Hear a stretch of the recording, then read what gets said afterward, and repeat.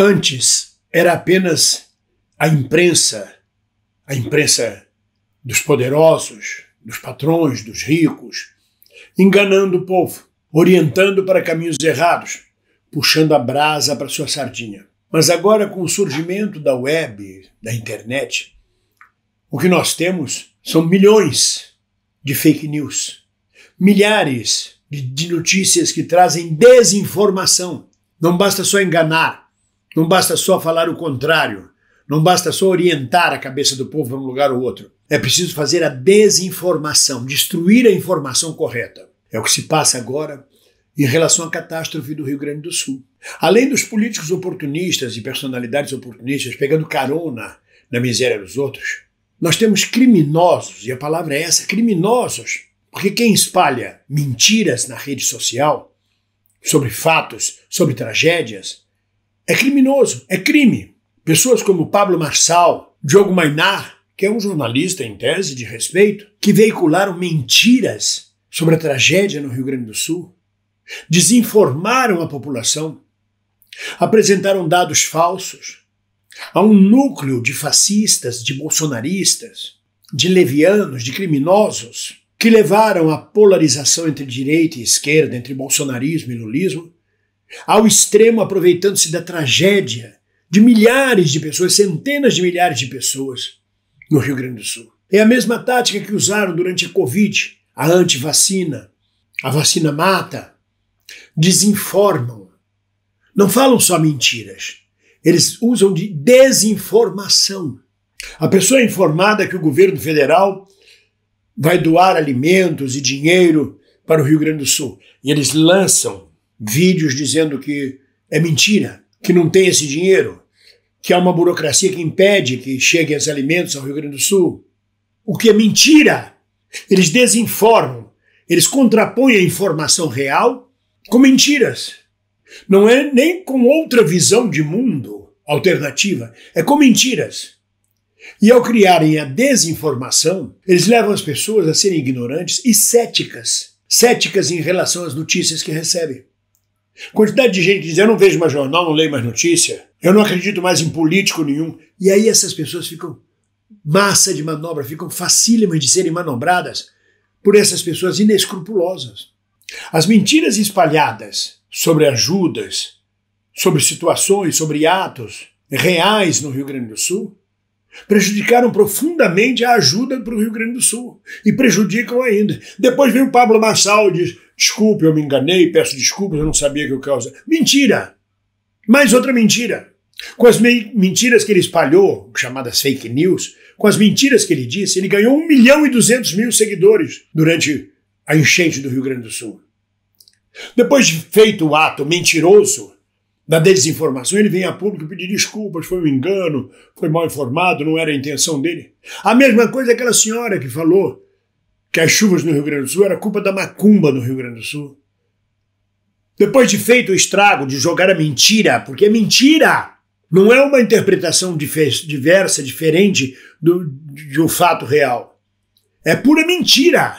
Trabalham com a mentira. Depois dela espalhar que a culpa dos enchentes era da macumba do Rio Grande do Sul, ela vem de público dizer não, não era essa a intenção, não foi bem isso que eu quis falar, fui mal interpretado. Mentira! Ela já causou, já viralizou, já ganhou seu público, já mobilizou a desinformação para que isso se torne gado, para que essa gente se torne gado, massa de manobra. Então vem o Pablo Marçal, vem ela, vem o pastor Lucinho, depois de ter feito a merda que fez, a desgraça que fez de falar de pedofilia com sua filha, com seu filho, vem de público dizer: não, foi um engano, não foi. Essa é a tática deles. A tática dos fascistas, a tática dos criminosos. Lançam a mentira, viralizam, descredibilizam a sociedade, as instituições, que fica mais fácil manobrar e manipular uma massa perdida que não sabem quem acreditar. Depois vem de público pedir desculpas. Não, fui mal interpretado, olha, eu me enganei, eu fui mal informado. É mentira! E com isso eles criam a chamada desinformação. Eu não gosto de usar a palavra fake news porque a massa tem que entender que fake news é mentira, é falso, é falsidade. Senão, meio que fake news, uma palavra assim, tem que chegar para o nível da massa. É mentira, são mentirosos. Eles trabalham jogando mentira, desinformando a população. Eles pegam fatos reais, no meio desta desinformação, pega um fato que é real. Por exemplo, alguém que tomou uma vacina para Covid e teve uma reação alérgica violenta, ou até veio a óbito. Esse é fato real. Então eles pegam isso e generalizam. Olha, a vacina mata, já morreram diversas pessoas, muita gente está morrendo porque tomou a vacina. Agora mesmo um rapaz em Santa Maria do Perdão tomou a vacina e morreu. Eles dão caráter verá, verídico à mentira. Depois você vem, tem um trabalho imenso, perde um tempo imenso para voltar a informar a população, mas a população já não acredita. Primeiro porque há dois tipos de, de população. Há os que querem acreditar nos fascistas, há os ressentidos, os magoados, há aqueles que são propensos a escolher o lado errado da história e que aceitam de bom grado, sem discutir, sem pesquisar nada, tudo que é mentira que eles falam. E há aqueles céticos que não acreditam em mais nada, mas dizem: olha, esse rapaz tem razão, já morreu mesmo, eu vi a notícia. Morreu um rapaz que tomou vacina, assim, está morrendo gente e o governo não está falando. E cria um trabalho depreciativo, destrutivo de toda a campanha de vacinação, como agora a campanha para o Rio Grande do Sul, mentindo, dizendo que os caminhões de comida não podem chegar porque tem que ter nota fiscal da comida, que os aviões não podem pousar porque o governo deu ordem para não pousar. Tudo mentira! Mas, meu Deus do céu, tem gente morrendo afogada, tem gente desabrigada, tem gente sofrendo, e esses safados não percebem o mal que eles estão causando. Numa hora dessa não tem direita e esquerda, meu Deus do céu. Numa hora dessa tem humanidade. São criminosos. Pablo Marçal é um criminoso. Diogo Mainar é outro criminoso que cometeram o crime da mentira, da leviandade. Aquela pastora, o pastor Lucinho, a mulher que disse que é macumba que é responsável, tudo mentira, tudo orquestrado, claramente orquestrado. É a época da desinformação. E a gente tem que lutar contra isso. A questão das urnas eletrônicas. As urnas são seguras, experimentadas no mundo inteiro, por técnicos, todo mundo são seguros. Eles aí mentem. Não, as urnas não são seguras.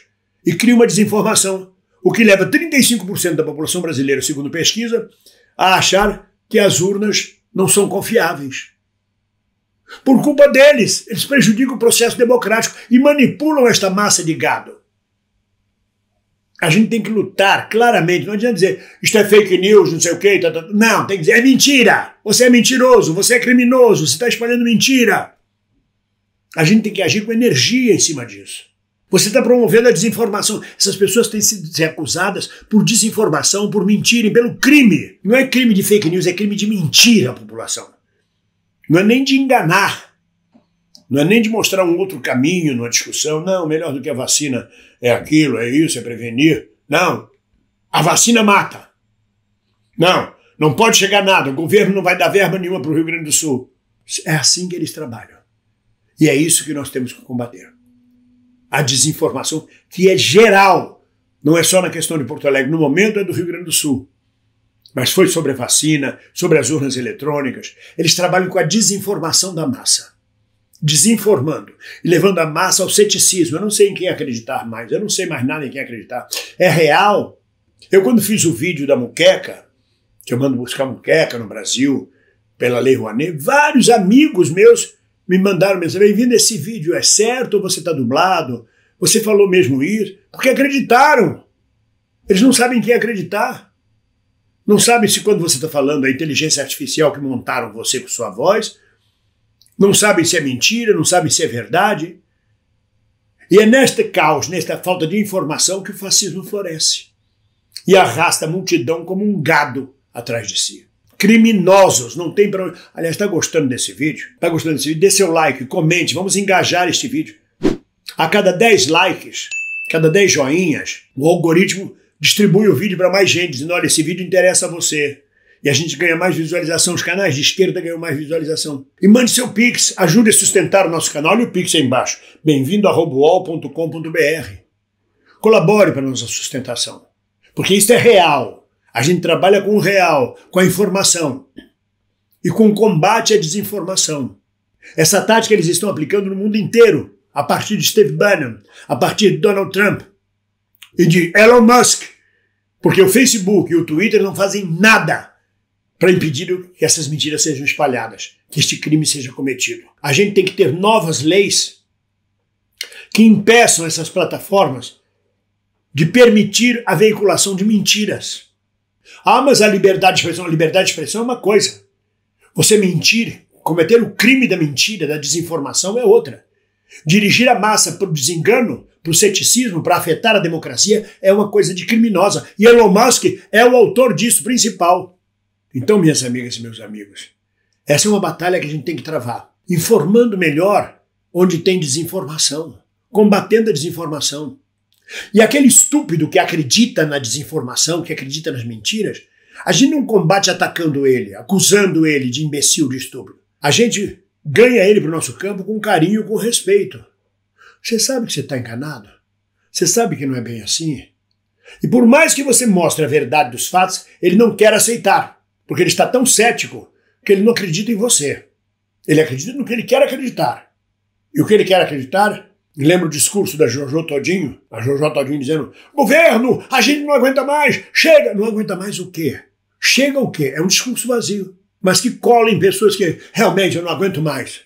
Não aguenta mais a mulher chata, o marido chato, bêbado, não aguenta o filho drogado, não aguenta o marido desempregado, a mulher desempregada, não aguenta a vizinha, mas aí joga no governo. E eles se aproveitam disso.